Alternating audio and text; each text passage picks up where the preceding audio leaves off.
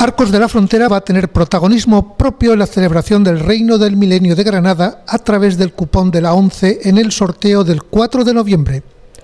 Agradecer la labor que realiza la ONCE en toda España, pero muy especialmente en la provincia de Cádiz, ¿no? que es donde nos toca.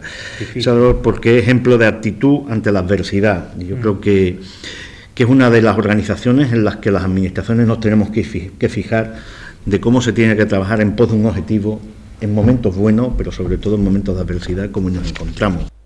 Un cupón con presencia en nuestras vidas que permite la prestación de importantes servicios sociales.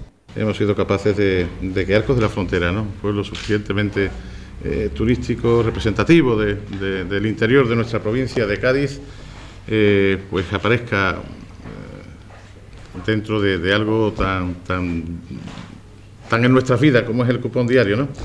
A través de una, yo creo que bellísima imagen de Arcos de la Frontera. Alcalde no conocía Arcos de la Frontera, es curioso, no lo conocía. Estuve allí hace tres o cuatro semanas y me, quedé fascinado, fascinado. La verdad es que es un encanto, es un encanto. Aconsejo a todo el mundo que visite Arcos porque la verdad es que es una maravilla